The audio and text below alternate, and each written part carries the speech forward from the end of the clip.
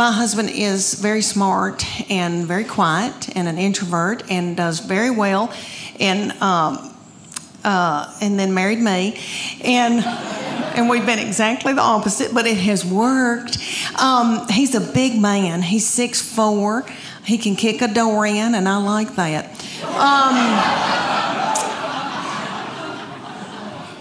he works like a dog and he loves a baby. Let me tell y'all that he is a baby cuddler at East Tennessee Children's Hospital. He cuddles the drug dependent babies every week of the world as a volunteer. I know, sweet. He didn't help me with mine. But.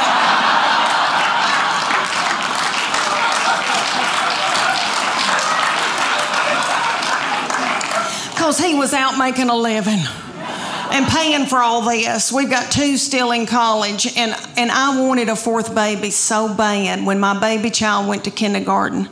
I nearly grieved myself to death. I thought, Lord, what am I going to do with all this time on my hands? I hope I don't get hooked on whiskey and start honky tonking.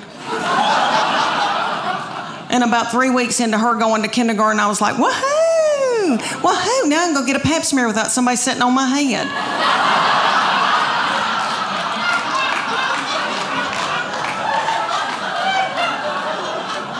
But my husband, when I dropped her off, we, he said, Meet me at the IHOP. Because he knows that pancakes get me through a hard time. and I was crying, and, and I said, I want another baby. And he said, Why don't you get a job?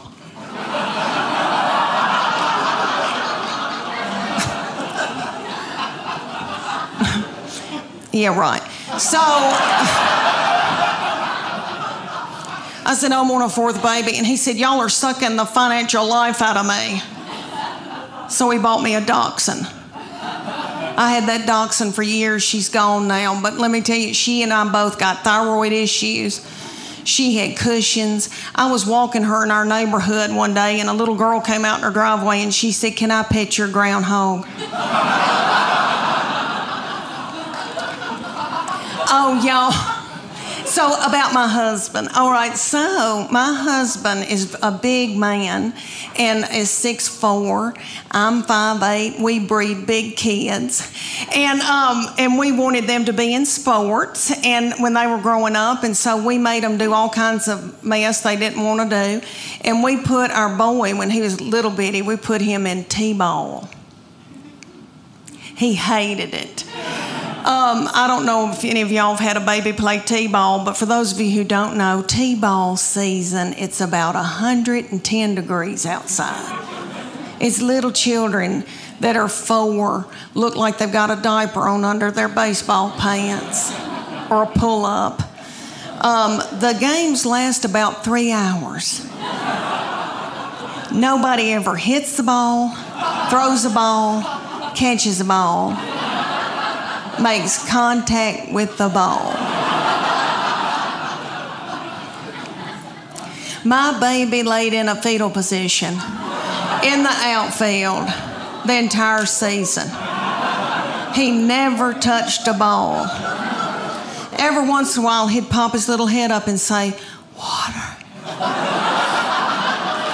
one game it was so hot and I, t- I told the middle one to go out and take her brother a water bottle. She was about two and a half and she went walking out there with a tutu and a crown and a wand and her pink prostitute shoes from walmart.